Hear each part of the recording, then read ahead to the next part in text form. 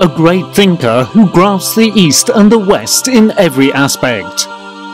A unique name that not only built the intellectual world of his time, but also the years to come. One of the last great representatives of Islamic thought tradition. Allama Muhammad Iqbal. Undoubtedly, his name is a very special place in the whole Islamic geography. Allama Muhammad Iqbal opened his eyes to life in the city of Sialkot in today's Punjab province of Pakistan. Muhammad Iqbal started studying the Quran when he was still a child. Iqbal received education in Islamic literature under the guidance of his teachers. After completing his higher education in Lahore, he taught philosophy to his students at the government college. Iqbal's entire life passed in India, a British colony. To see the Western culture closely that exploits his geography and the whole Islamic geography, he went to England. Here he learned Western philosophy from the famous philosophers of the period. Although he lived in Europe for many years, he never used the Sir title given to him by the British. In the following years, he returned to the land he was born in and maintained his own unique resistance. Muhammad Iqbal struggled with Western-based imperialism, which reached its peak in the early 1900s throughout his life. He was in an endless struggle for the spirit of Cordoba Mosque as he struggled with the problems of the Muslims in India. The poems he wrote for Cordoba Mosque, which was the greatest proof of the existence of Islam in European lands, touched the deepest part of our souls even today. O Cordoba, stars look upon your precincts as a piece of heaven. But for centuries, alas, your porticos have not resonated with the call of the muezzin. During his lifetime, Allama Muhammad Iqbal aimed to organize Islamic societies against Western atrocities with his crusader soul. While defending the unity of Islam with his poems and his intellectual world, he also physically traveled the entire Islamic geography from Cordoba to Africa step by step. Muhammad Iqbal went to the Muslim geographies which he could not go with his soul and travelled these geographies with his heart. Despite his suffering life, he never lost his crusader spirit. Iqbal died on April the 21st, 1938 without seeing the independent Islamic Republic of Pakistan, which was his biggest dream.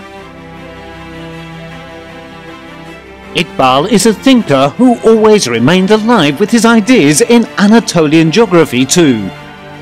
Even though his thoughts found a place in the whole Islamic world, Muhammad Iqbal left deeper traces on the Anatolian people.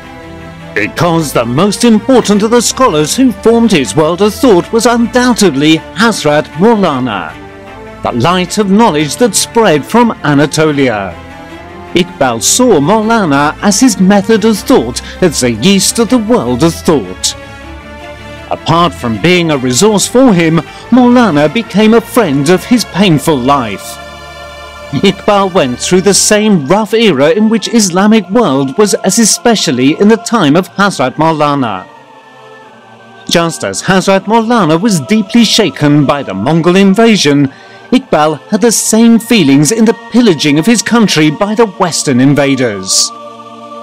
Today, Allama Muhammad Iqbal's shrine, standing right next to the lodge of Hazrat Maulana, who is the eternal symbol of Konya, is a symbol of these two friends who met the language of heart. Iqbal has a deep and different place in the memories of Turkish people too. During the national struggle, Turkish people were entering the War of Independence. The Turkish nation was opposing imperialism with limited means. Iqbal could not remain indifferent to this relentless resistance of the Turks that was not only in Anatolia but on all fronts. Iqbal was following what happened in Anatolia from the poems of our national poet Mehmet Akif Ersoy. He was communicating with Akif by letters, and even remotely he was interested in Anatolia, the last fortress of Islam. Since the thinkers of the great history of Islamic thought were fed from the same source, they could be together in a sense even if they never met. Hazrat Maulana, Muhammad Iqbal, Mehmed Akif were all enlightening their world of thoughts with the light of the Prophet Muhammad. Muhammad Iqbal was in constant action for the Turkish nation from miles away. He invited the Muslims in India to the Union and explained in the most impressive way that brother should help his brother.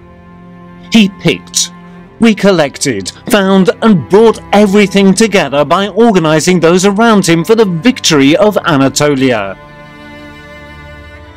With the organization of Iqbal, the marriageable girls sent their dowries, the students sent their allowances, the people who had two loaves of bread in their homes sent one of it to Anatolia. Because the people of Pakistan knew that Anatolia's victory is the victory of Islam. Muhammad Iqbal followed this tough struggle of Turkish people with pride and tears. Muhammad Iqbal was addressing the hundreds of thousands of Pakistani Muslims who gathered to support the Gallipoli front with a deep feeling. Although years have passed since the death of Muhammad Iqbal, Turkish nation has never forgotten him and the Pakistani people. O gün Lahor meydanında toplananlara hitap edenlerden biri de şair-i azam Muhammed İkbal'dir. Muhammed İkbal o kürsüde büyük bir hicap içerisinde birkaç gün önce gördüğü bir rüyayı anlatır. Rüyasında Peygamberi Zişan Efendimiz'i aleyhissalatu vesselam gören İkbal hissiyatını dizelere şöyle döker. Dedi Hazreti Muhammed cihan bahçesinden cihan bahçesinden bana bir koku gibi yaklaştın. Söyle bana hediye olarak ne getirdin? Dedim ki ya Muhammed dünyada yok rahatlık. Bütün özlemlerinden umudu kestim artık. Varlık bahçesinde binlerce gül ve lale var. Ama ne renk ne koku. Hepsi de vefasızdır. Yalnız bir şey getirdim. Kutlanmıştır tekbirlerle. Bir şişe kan ki eşi yoktur. Namusudur. Vicdanıdır. Buyurun bu Çanakkale şehitlerinin kanıdır.